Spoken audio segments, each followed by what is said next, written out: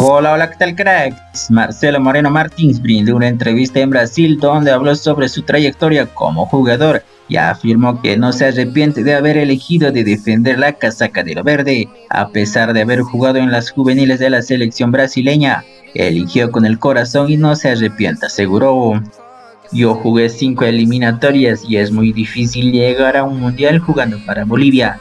He tomado la decisión yo creo que correcta de jugar para Bolivia porque hoy yo soy el profesional que soy en mi país.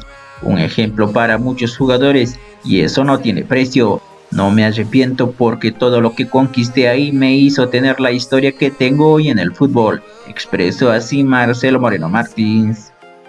Liga de Quito perdió 2 a 1 ante el Barcelona por una nueva jornada en el fútbol ecuatoriano y marcha en la cuarta posición con 26 puntos, 3 unidades por debajo del líder que es Independiente del Valle.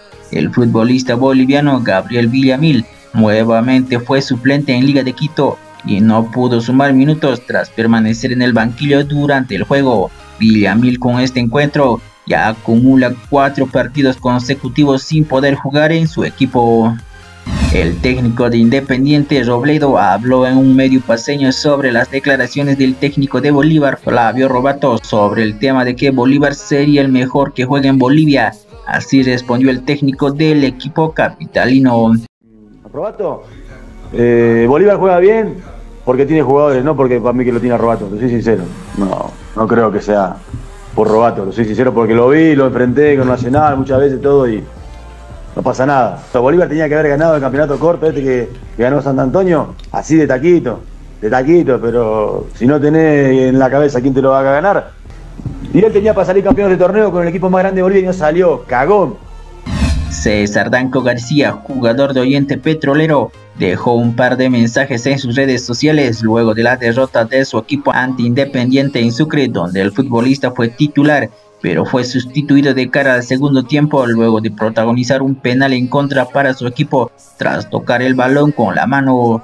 Te enfocaste en mis errores, pero nunca te enfocaste en todo lo que hice por ti. Lo siento, las cosas cambian, toda la verdad siempre sale a la luz es cuestión de tiempo, expresó el futbolista del Verdolaga.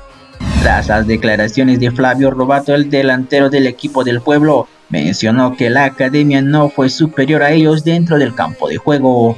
Yo los vi haciendo tiempo y no creo que hayan sido abismalmente superiores a nosotros. Tienen un gran equipo, pero no creo que hayan sido abismalmente superiores a nosotros, dijo el delantero de Aurora. Cambio de localía entre Real Tomayapo y Blooming. Este partido tendría que haberse jugado en Tarija, pero el viaje que tiene el equipo tarijeño por Copa Sudamericana se realizará el mismo día del partido. El encuentro se jugará en el Ramón Aguilera Costa entre Tomayapo y el Celeste Cruceño el 25 de mayo. La Comebol Libertadores publicó la lista de goleadores del certamen de esta edición 2024 y el jugador de Bolívar Chico da Costa está en el puesto 4 con 4 goles. El equipo arbitral del partido entre Royal Park y Always Ready, donde cayó el local por la segunda fecha del torneo Apertura, fue suspendido por la Comisión Arbitral de la Federación Boliviana que detectó errores en su accionar durante el lance. Héctor Sandoval fue el juez central del partido y Raúl Orozco estuvo a cargo del bar. Comencemos con el resumen que nos dejó la fecha 3 de la Liga Tecno. Universitario de Vinto derrotó 1 a 0 al Real Tomayapo en el Estadio Cuarto Centenario de Tarija por la tercera fecha del torneo clausura, con gol de Tommy Tobar en el segundo tiempo. Fue importante también Gustavo Almada en Universitario de Vinto. El arquero atojó un penal ejecutado por Agustín Graneros cuando el marcador estaba empatado en el primer tiempo. Aurora empató 1 a 1 ante Bolívar en el estadio Félix Capriles en Cochabamba por la tercera fecha del torneo clausura. La academia se puso en ventaja con gol de Francisco da Costa, mientras que el empate para el equipo local llegó a través de Yair Reynoso. La academia suma así 7 puntos y por ahora se mantiene en lo más alto de la tabla de posiciones. Su próximo juego será contra Real Santa Cruz en La Paz este sábado.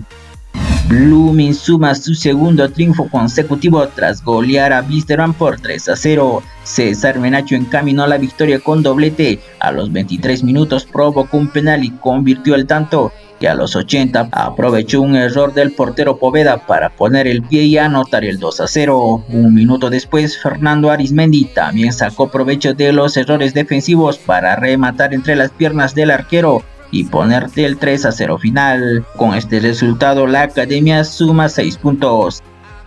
Eso es todo cracks. Si te gusta nuestro contenido no olvides darle like y suscribirte para que no te pierdas de nuestros próximos videos. Hasta la próxima.